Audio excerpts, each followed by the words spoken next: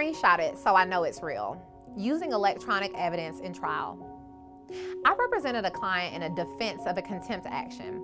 The opposing side was alleging that my client was $50,000 in arrears, meaning she was alleging that from the time he was ordered to pay child support, he had never paid a dime.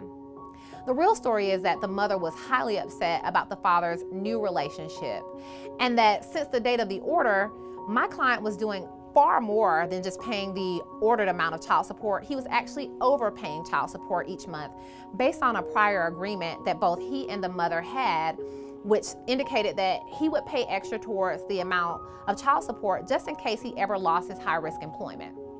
I asked our client, did he have any proof of the agreement that was made between them?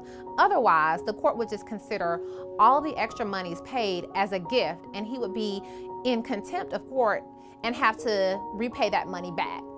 He immediately left my office to go and obtain the actual phone that those text messages were contained on. He presented the messages to me which showed that both of them, and especially the mother, were in agreement with receiving more money each month to put towards the child support payments. We provided that evidence to the court, who not only dismissed her case, but gave my client a credit for overpayments and we were awarded attorney's fees. Had he not had those messages, he would have not only had to repay the money, but he would have likely been incarcerated for the alleged arrears. So, what types of evidence can be used in court? So there's always text messages. If you have text messages, you want to make sure that you screenshot those text messages to capture the actual date and time stamp. You can utilize emails as well. Audio recordings are perfect. This isn't criminal law, guys. The other parent or other side does not have to know that they are being recorded in order for us to use that evidence in court.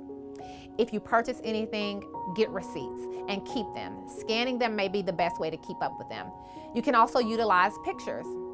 To learn more about what types of relevant evidence can be used in your case, call Family Matters Law Group and schedule your consultation.